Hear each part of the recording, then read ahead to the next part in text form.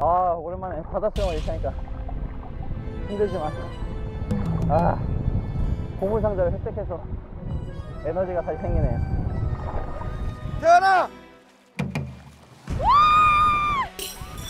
와 진짜 짱이다 멋있어 멋있어 아, 좋아, 좋아. 갔다 올때 춤이자 좋아, 좋아.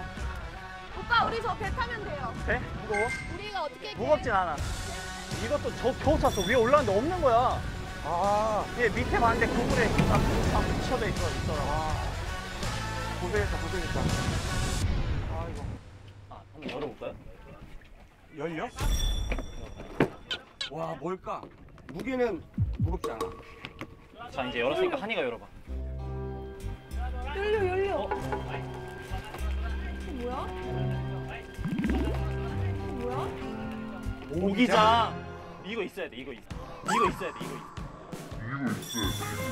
대박. 그 우리 물고기 잡을 때 가는가? 샌드 샌드 샌드 플라이 슬라임 샌드 플라이.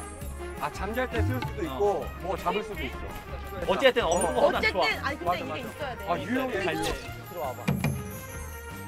아늑하다. 예이. 기분 좋아. 그럼 어때? 아 좋아. 완전 좋은 거 획득했다. 또 이거 바닥에 깔아도 돼요.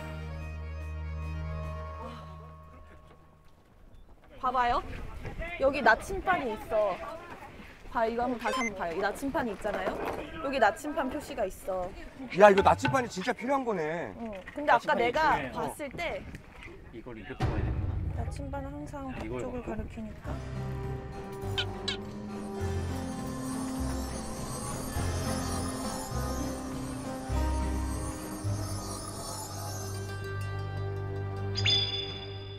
오빠. 이게 봐봐 우리가 세 개를 하는 게 분명 여기, 여기 이게 중요하단 말이에요. 그럼 우리 여기 내려서 어쨌든 여기로 가려면은 여기를 거쳐야 되니까. 그럼 우리는 이거 세 개를 한번 구해